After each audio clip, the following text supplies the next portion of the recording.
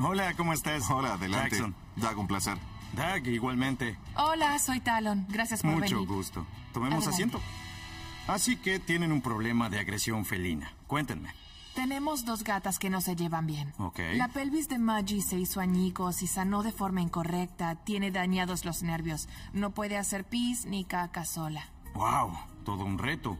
¿Y cuántas veces al día tienen que hacerlo? Una por la mañana y una por la noche. Sí. Ok.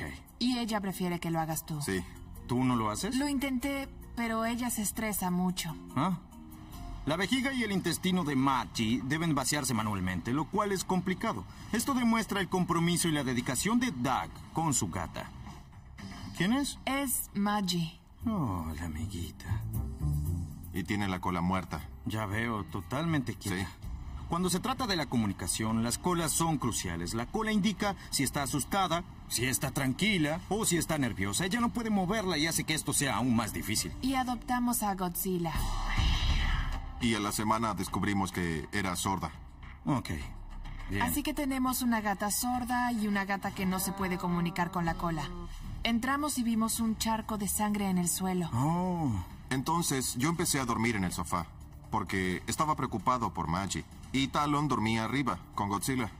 el matrimonio está durmiendo en pisos separados para evitar que la gata sorda ataque a la gata discapacitada. Esta casa está dividida y si no podemos encontrar una solución, todo va a derrumbarse. Doug, por lo que me dices, Maggie es, Es tuya. mía, sí. Y Godzilla es tuya. Sí, Ni siquiera puedo levantarla. Me clava las uñas. Oh, Doug, eso es reciente. Así es. Por eso quisiera regalar a Godzilla. Todavía no estoy lista para abandonarla. Ok. Llegamos a un límite y debo proteger a Maggie por su salud. Esto es un desastre. Para poder averiguar por qué Godzilla responde a Doug con tanta agresión, necesito verla con mis propios ojos. Hola. ¿Cómo estás? ¿No vas a saludarme?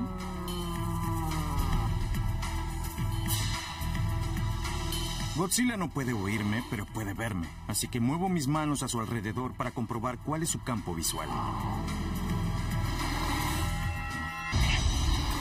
Ah, tienes uñas afiladas. ¿La viste? Ah, au. Ah, ¿Viste eso? Ah, Lo viste, ¿no? Sí. Si me acerco por aquí, se pone nerviosa. Pero si voy por detrás... ¡Ah! Te dio un buen rasguño. Sí, me dio duro.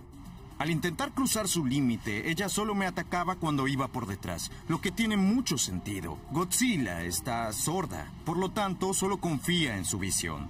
Si ella no puede ver cuando alguien se le acerca, se siente amenazada. Eso me indica que Doug estuvo acercándose mal. Necesito verla con Machi. Para mí es algo muy importante. Ok. Ya que estaba en la modalidad de ataque, quería ver qué hacía con Maggie. Cuanto más contacto visual tengan, más información tendré. No hay forma de prepararte para lo que verás. Godzilla tiene la mirada fija cuando arremete contra Maggie. Sí. Esa mirada es preocupante. Cuando un gato se queda mirando a otro gato es la primera señal de conflicto y a menudo lo que antecede a la violencia. No me gustó la forma en que Godzilla miraba a Maggie. Como siempre, tuve que presionarla hasta el límite. Esto es lo que haré. Necesito acercarlas de manera segura para ver cómo reaccionan.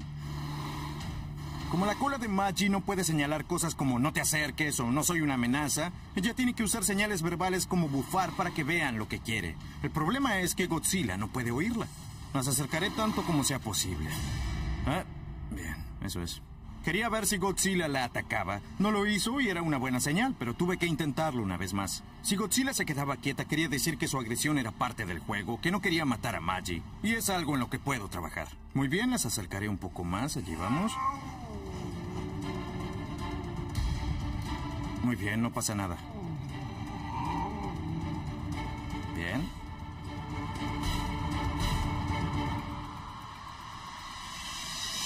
Ah, esa es la reacción que esperaba. Maggie responde a un largo tiempo de traumas y lo que hace es bajarse de la cama. Como Maggie no puede usar la cola, Godzilla no tiene forma visual de saber que Maggie no es una amenaza. Entonces se mantiene a la defensiva. Fija los ojos con Maggie como diciendo, un paso más y se acabó. Tengo a dos gatas que no pueden comunicarse y dos amos divididos. Mi trabajo es unir a esta familia y será un gran desafío. Lo primero que tienen que cambiar son ustedes. Tendrán que cambiar un poco los roles. Si Doug ayuda a Maggie dos veces al día, quiero que tú lo hagas una vez. Necesito que Doug se aleje un poco de Maggie y que Talon sienta más compasión por Maggie porque está muy apegada a Godzilla. Doug, tú vas a trabajar más con Godzilla. Quiero que te encargues de traerla aquí abajo. Cuando te acerques a Godzilla, asegúrate de hacerlo de frente para que pueda verte y no se sienta amenazada. También quiero que busques un juguete que la traiga. Juega con ella todo lo que puedas mientras tú estarás con Maggie. Si Doug alguna vez tiene que levantar a Godzilla, quiero que ella lo vea como a un amigo y no como alguien hostil. Así que Doug debe mostrarle cosas buenas como el juego. En segundo lugar, necesito que Godzilla esté cerca de Maggie, pero tiene que concentrarse en algo bueno como un juguete. Y necesito que Maggie se acostumbre a Godzilla sin asociarla con la violencia. Por último, el rascador tiene que estar intacto y sin espacios cerrados. Es tan fácil como hacer otra abertura en la caja. Tenemos que hacer todo por el bien de las dos gatas. Y si no logramos llegar a donde queremos, tendremos que sentarnos a conversar sobre el futuro de Godzilla. La salud de Maggie está en riesgo.